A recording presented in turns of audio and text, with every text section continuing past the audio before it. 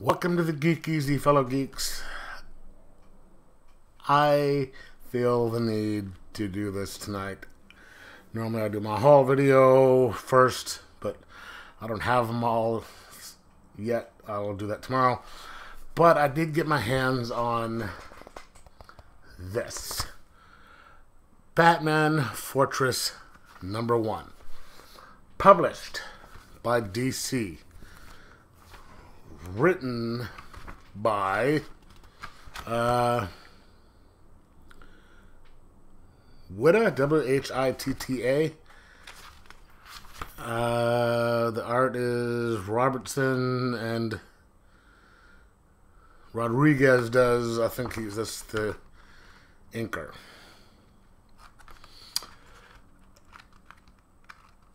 I got this because uh, you know I'm, I get Batman stuff, and this is probably one of the worst Batman books I have ever read.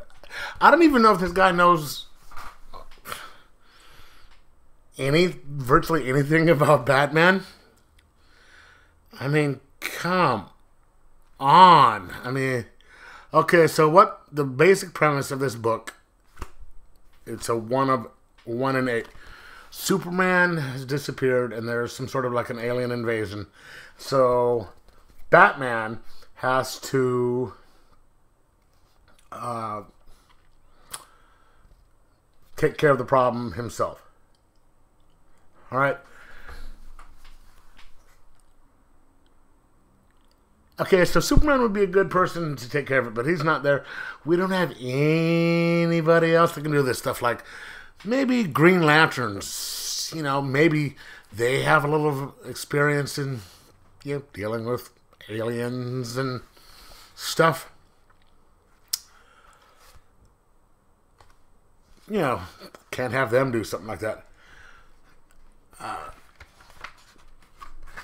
but okay, so starts out with uh, in Wayne Manor and a couple guys try and break in because they heard that he's uh, Bruce Wayne's going to be out of town. They come in and they start taking stuff, and Bruce Wayne is there, and he just starts to beat them up.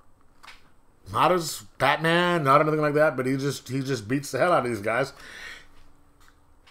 I, Bruce Wayne isn't known for that type of stuff, so the, you've got these guys that are just going to be sitting here uh, saying, "Hey, broke in there and this guy fights like Batman."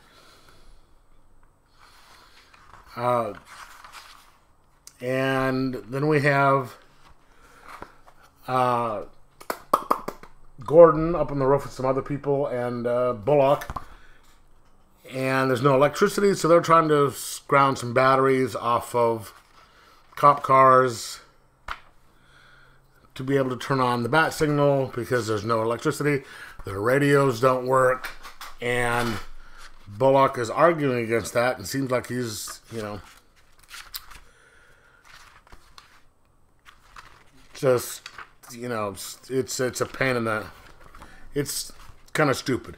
Now, this is the part that gets my goat or as or as uh Peter Griffin says, grinds my gears. So we have a scene right here where he, you know, uh, first of all, you know, they know that, that there's some alien ship out there that's shutting down the power grid. And they're like, oh, we'll uh, take care of that in the morning. I have to go and try and uh, deal with stuff throughout the city. Right? Okay, so we got the huge threat of uh, this supposed alien shutting down power throughout the globe and everything. And releasing, he's really some the electricity going out, release the people from Arkham.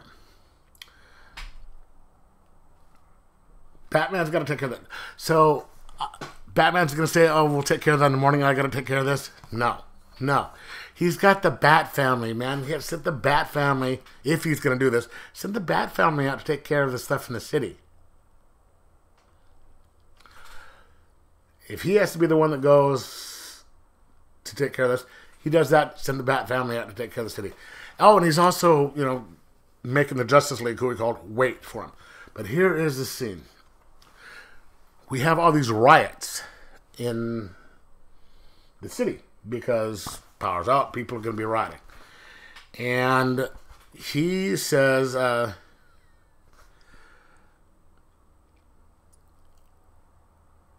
haven't seen a night like this in a while. Last time it was this bad was when the fear gas was in the water supply. Only so much I can do. Need the practice. Uh, hunt the big fish, protect the little fish. Now, so we've got all these guys, and he's like, uh, these all these places all have insurance. Not my job to protect their profit margins. In my father's day, the American dream used to mean something an honest wage for an honest work, food on the table, liberty and justice for all.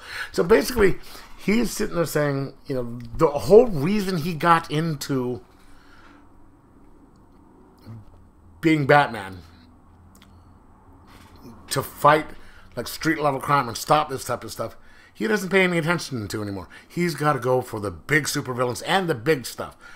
You know, don't worry about the small crimes. Um, there is really got a situation like this, the small thing. He's got more important fish to fry than doing his original mission. He's got the Justice League to take care of the big ones. He can take care of this. Or if he wants to go do this, he can get the Bat family to take care of this take care of this. He's going to ignore all the street stuff, which is just asinine. And then he also uh, gets to uh, crime uh, crime alley, and he says he doesn't like going there because it makes him uncomfortable. This person does not seem to understand the concept of Batman. His main job, his main thing is to fight the city, you know, fight crime in the city, to fight, take care of the smaller people, and you know, if the supervillains come along and take care of, uh, start doing stuff, he'll get take care of them. But this stuff, the the uh, the riots and them looting stores and destroying things, and a couple scenes where he's uh, people are trying to rob stuff, which he actually does stop. That's his ballywick. So I don't know if the guy who wrote this is just that has no idea what he's doing, or if DC is taking us for fools and just think that we'll you know, accept this and say, "Oh, this is entertaining," even though this isn't Batman. And yes, I understand this is probably this is an Elseworld, but they either just don't care and just want to try and sell Batman books, or they're just trying to take us for being stupid. Either way, I cannot recommend this book. I mean, it's it's it looks good. The art in there is, in here is really good. The story sucks. And I will not be getting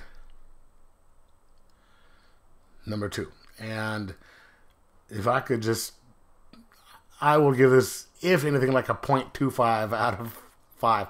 It was a bad book, and it's just, I sort of wish that I could get my money back for it. It was, it was bad.